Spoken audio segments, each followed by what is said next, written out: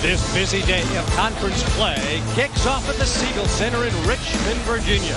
Northeastern visits the homestanding Rams. This is Jonathan Lee on the inside, right back to Khari Black with Chaisson Allen. Allen has a step on Nixon, got people in the air. Nixon with the rejection ahead of the pack. For a power throwdown by Bradford Burgess. Got 10 to shoot. Rodriguez, the kick to Burgess. Got it. Rodriguez tries to push it inside to the man you mentioned, Brandenburg, and it got turned over. Now Chaisson Allen with authority hits the deck after the slam. One and done of the Huskies. Rodriguez pushing it up. The clean look for Bradford 94 feet up and down, and Northeastern's got to be careful not to get into that. Brandenburg launches a three and hits nothing but net to single digits. Chaisson Allen, front of the iron, into the hands of Black. Gets it back to Allen for the pretty finish. That's a great example of how good a player Chaisson Allen is. I mean, he shot the ball, followed his shot, got it back, and put it in the hole. Something that's got to improve for Bill Coen. Allen with the extra pass and finds a wide open Jonathan Lee for three. Scheme gives it right back to Rodriguez, who buries the three. Flash into the hoop because Jonathan Lee couldn't finish there. Nixon from Rodriguez and one. What a great setup that was to get the ball to his teammate Nixon, who ran the floor. He rewarded him for that by getting him the basketball. Pearson calling for the basketball. Ryan Pearson turns and look at the follow by Alex Harris. Great start to a busy afternoon of CAA basketball on Comcast Sportsnet. And when you need something inside, go to Jamie Skeen.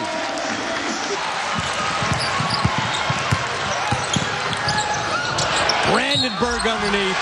And one. That was a great pass, a great catch, and a great finish. That's just a great basketball play. Burgess bodied up by Khari, blocked and turned it over. This time Alex Harris rolls to the hole and gets it to drop. The start of a triple-header day of CAA basketball on Comcast Sportsnet. And Ed Nixon with the latest volley. Before the conference play, because Jerry with another steal. And self selfishly gives it up to the man for his 26th point. Well, our final score, Virginia Commonwealth 73, Northeastern 64. Welcome inside the Patriot Center here, home of the George Mason Patriots, where today they play host to the Georgia State Panthers. Shot clock again down to six. Johnson. Two. They got to put something up. McGee hits it. Fields. Good little move, but didn't know where he wanted to go with it after that. Intercepted Cam Long on the break. And Cornelius ties the game at eight. McGee for three. Got it. Both teams, this is a defensive battle out here. Neither team is playing well except only on the offensive end. Tate with a shot clock at five, and he hits a three.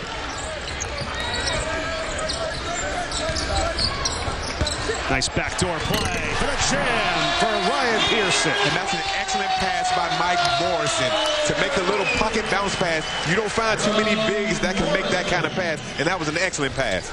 With nine turnovers.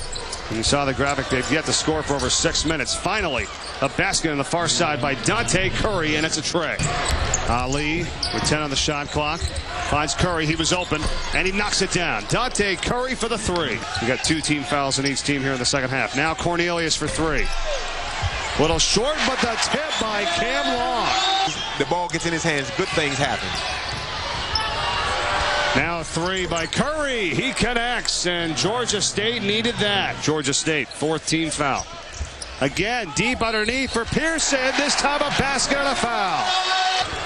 And then speaking of which, they get a steal off the press. That's great for the Panthers, and now have a chance to try to cut into the six-point lead as Fields drives in, gets hit, and hits the basket. I tell you, they're not going away quietly. That was a tough move by Fields to take the bump and lay it in off the basketball, out the backboard. It's a four-point Mason lead. Again, Fields. And good defense by Morrison. He almost threw it away, and Hancock is going to be fouled. He makes the basket. Dante Curry for Georgia State is 4 of 8 from three-point range. Speaking of which, long for three, and he hits it. Cam Long, what a crossover, and what a move to the basket for two. George Mason knocks off Georgia State by 15 to stay undefeated at home, 66 to 51 rejected again. And here's Charles Jenkins with the high dribble over the timeline. McClendon, three ball. He's got five in about 30 seconds since he checked in. Keyon Carter with his first two, so six in a row by Old Dominion have cut the lead in half. Jenkins off the spin going glass. Wow. Carter got it. It's in the paint. They kick it back outside. James for three. And here comes the pride with Kelleher. Oh, that'll quiet Old Dominion. Mike Moore, his first three of the game. Team right now out rebounding Hofstra 19 to 9. And right now the pride goes with Jenkins baseline, left hand off the window. Here's Delancey. That's Bazemore, Iliadis. Bazemore for a long three. Bazemore with five, launching. Oh, another three ball for Kent Bazemore. Old Dominion with the lead. That out rebounds its opponent by just under 11 a game. Three ball. Darius James, his second of the game. Jenkins again likes to go left and spins back to his right. Slap from his hands. Look ahead for Bazemore. Ahead of the field. Got him to within four right now. But going back to work is Frank Castellan. You're a big guy. You're not going to stop that.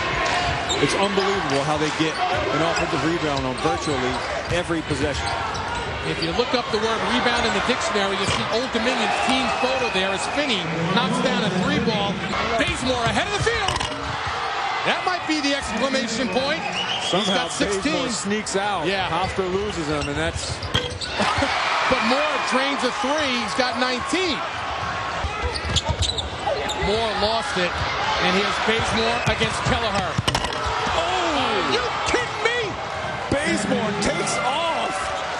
75-64. Hello, Kent Bazemore. Old Dominion with a most impressive win. Follow all the action of CAA basketball online at CAAsports.com.